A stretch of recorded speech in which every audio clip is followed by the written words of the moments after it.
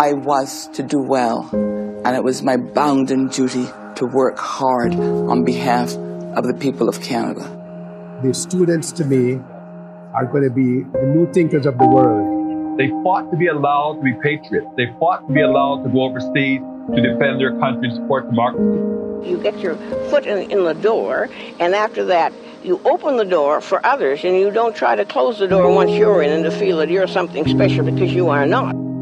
Lived and eat and drank coffee. I had been focused on that race alone the entire year and we're on the podium and they give it to me from Canada. It's important we all understand that inequity and racism are disease equivalent. Because you've seen it, you think, well, that must have happened. What's so amazing about films is that you see a story.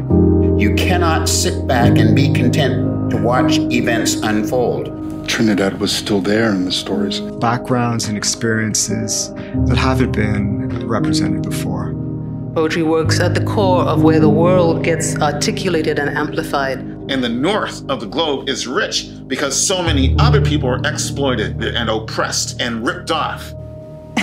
so I stood and I said, you know what? I think we're going to stop that conversation right here. I think there's a problem, and I'm not a problem. The problem is on your side.